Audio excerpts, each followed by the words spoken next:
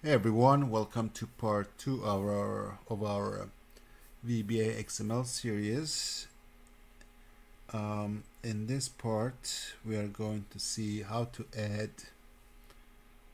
data to our XML file that we created in our first, well, previous tutorial.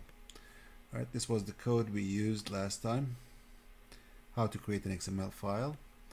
And this part is going to be our new code that we are going to use to add uh, data to our XML file. Let me show you this little representation.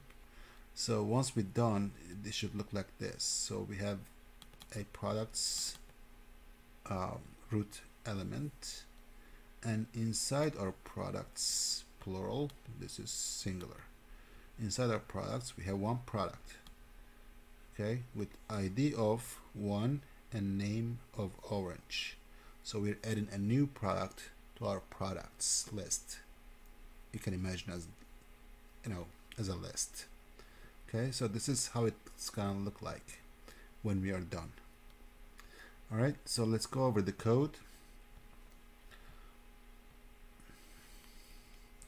All right so this first line again we are declaring variables I have uh, doc variable, root variable, product variable, and product name, and product ID as object, and file path as string.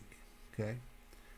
And once again, we've seen this before. We're setting the uh, file path to our full path plus, including the uh, file name.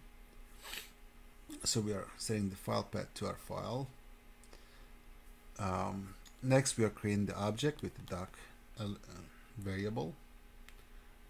Okay.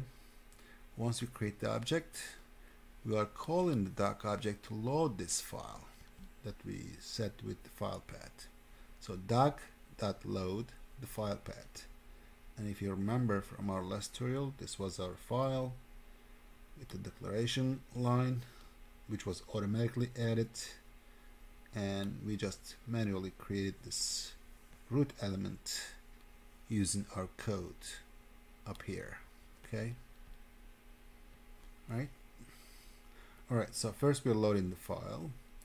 Once we loaded the file we're going to select this node this element to add data to it. Okay? So first we are selecting this node by calling doc dot select single node and within parentheses open close parentheses open close double quotes. And forward slash forward slash products. That's how we select a single node okay? So once we select our node once we select this node here we're going to create a new element, a child element. So this time we're going to use the product variable and create a name, uh, an element called product. Okay, so this one here. Let's look at this. So we're creating this element, this child element to products. Okay, once we create this element, we are telling the root which is our products this one here to add this new child okay? So this line adds the product child element to the root element of products okay? And once that's done we're creating another element called ID okay guy here. So we create the element. This time differently we are setting the value. To set the value we're calling product id dot text equals one. Okay? And once we set the value we are calling the product which is this guy here. So it's creating this two this element was created with open close tags. And then we are saying the value with by saying product id dot text equals one. And once that's done we are calling the product element to append this child. Okay? So now this ID was added to this product next we're going to do the same thing with the name variable. Okay so product name I call this variable product name. Uh, product name prod name. Hold on a second I made a mistake I think. Uh, let me prod ID I guess doesn't declaration hmm. Yeah well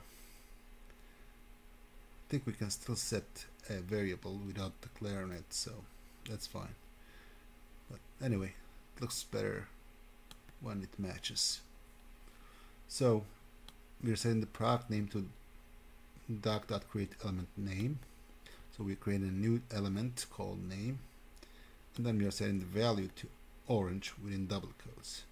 Notice orange is text so we have to enclose with double quotes. Okay? But for in integer values you don't have to. Okay? Um, and once again we're telling the product to add this new child. So it's going to add this guy here. Okay? And once that's all done we are finally saving the file and we are done. Okay let's run this and see what happens. Okay no errors. Let's refresh this. And there you have it. Beautiful. Okay. So we had product one we added one product with an ID and name and values right? That's it for now. See you in the next one. Take it easy